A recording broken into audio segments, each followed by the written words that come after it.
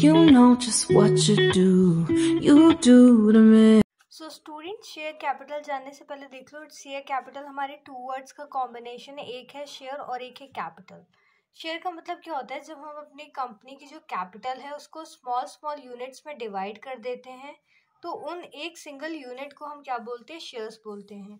और share capital की मतलब क्या होता है कि जो शेयर्स हमने पब्लिक में इशू करे थे और उन शेयर्स को इशू करने के बाद में जो हमने पैसे रेज करे हैं, जो मनी हमें मिला है, उसको हम क्या बोलते हैं? कैपिटल और शेयर से हमें कैपिटल मिल रही है तो हमारी शेयर कैपिटल होगी। देखिए क्या लिखा है? Share capital is the sum total of monies raise by the company from private और public sources through the issue of shares मतलब हमारे जो शेयर्स इशू करे गए हैं और जो मनी हमने रेज करी है वो पब्लिक और प्राइवेट दोनों सोर्सेज से हो सकती है। Such capital is divided into certain units for a fix amount is called shares ठीक है? और हमारे जो, अभी मैंने बताया था कि स्मॉल यूनिट्स में डिवाइड करा था, उनको हम क्या बोलते हैं? Shares the person who hold such shares are called a share holder और जो पर्सन हमारे शेयर्स को होल्ड करते हैं मतलब खरीद लेते हैं शेयर्स को, उन्हें हम क्या बोलेंगे? उनको हम बोलेंगे share holder Thus, the monies received by the company through the sale of shares are called the share capital in aggregate.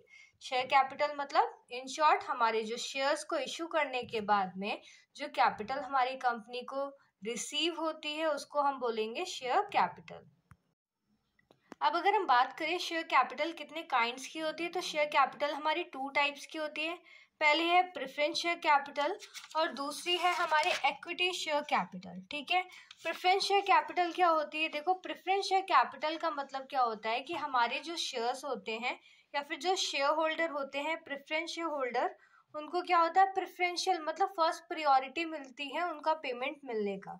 मतलब अगर आपकी कंपनी को लॉस भी हो रहा है ना प्रेफरेंस शेयर होल्डर्स को अगर आपने प्रोस्पेक्टस में लिख दिया कि आपको प्रॉफिट मिलेगा तो फिर आपको सबसे पहला प्रॉफिट प्रेफरेंशियल होल्डर्स को ही मिलेगा।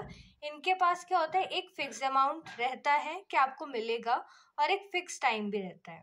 मतलब जब ये, और अगर हमारी कंपनी का वाइंडिंग अप भी कराएँगे ना तो हमारी कंपनी के वाइंडिंग अप के टाइम पे भी सबसे पहला पैसा हम किसे देंगे? हम प्रेफरेंशियल होल्डर्स को देंगे। They are the members of the company अगर हम बात करें इक्विटी शेयर होल्डर्स को तो इक्विटी शेयर होल्डर हमारी कंपनी के ओनर्स होते हैं। कौन होते हैं?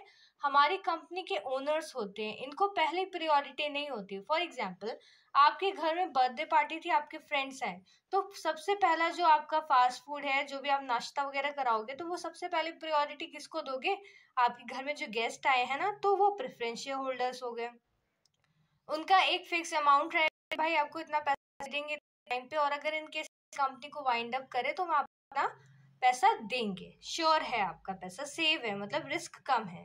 पर अगर हम बोले इक्विटी शेयर तो भाई हमारे घर में पार्टी है तो हम पहले तो खाने नहीं लगेंगे। जब बच जाएगा तो ले लेंगे, नहीं बचेगा तो नहीं भी लेंगे।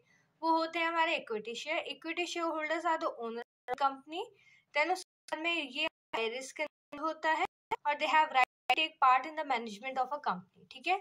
So student if you want कि मैं आपको रिटर्न नोट्स भी प्रोवाइड करूँ तो आप मेरे से कमेंट सेक्शन में पूछ सकते हैं। Thanks for watching do subscribe for more content stay tune bye bye